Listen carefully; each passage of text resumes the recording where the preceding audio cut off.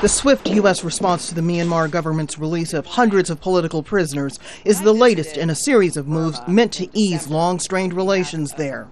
We will identify a candidate to serve as U.S. ambassador to represent the United States government and our broader efforts to strengthen and deepen our ties with both the people and the government. Last month, Clinton went to Myanmar and met with pro democracy leader Aung San Suu Kyi. She was released from house arrest in late 2010. Included in those prisoners released on Friday, Myanmar's former Prime Minister Khin Nyunt. Some of those released immediately turned their attention to the very cause that saw them locked up in the first place causes like fighting for greater rights.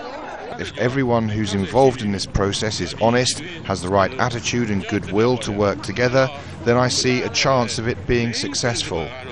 President Obama has called the prisoner release a substantial step forward for democratic reform. But during her recent visit, Clinton reiterated that further steps were needed if the U.S. is to consider lifting economic sanctions against Myanmar. Rosalind Jordan, Al Jazeera, Washington.